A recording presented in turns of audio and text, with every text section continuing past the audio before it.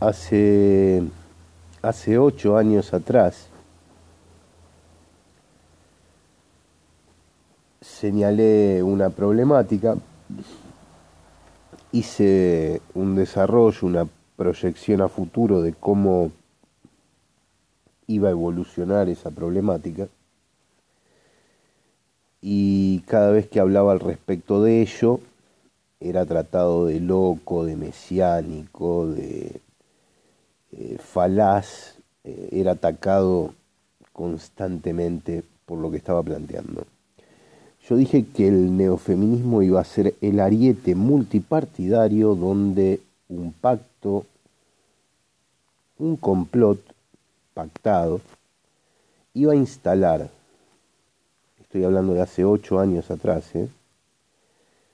no solamente a varias derechas, sino que después el juego que ahí se, se, jugaba era el del cambio de mando, el de cambio de poder una y otra vez. Señalé que iba a ser presidente el macrismo, que iban a lograr la presidencia.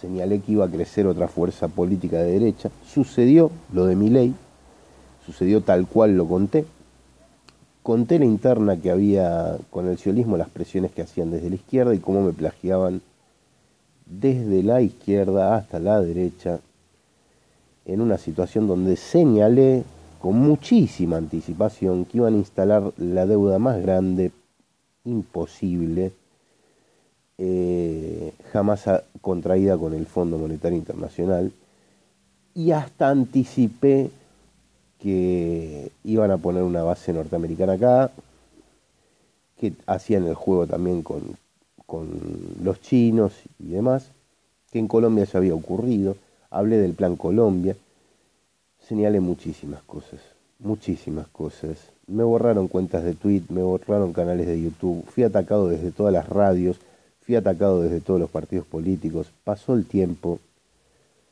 estamos en el año 2022 y todas las cosas que anticipé, incluso anticipé que iba a haber una pandemia de vuelta, porque ya estaba programado, anticipé lo de las farmacéuticas, nada jamás le alcanzó a nadie.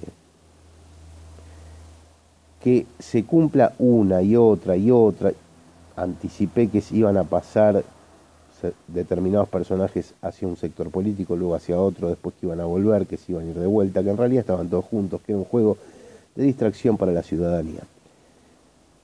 Que no, que no, que no, que no, que no, que no, que no, que sí. Al final fue todo así. Sigo estando bajo censura y se siguen cumpliendo todavía hoy las cosas que anticipé. Mis llamados a las radios tenían esos audios donde yo anticipaba todo esto. Son los propios medios de comunicación los que estuvieron ocultando que esto iba a ocurrir y que yo se los dije mucho antes de que ocurriera.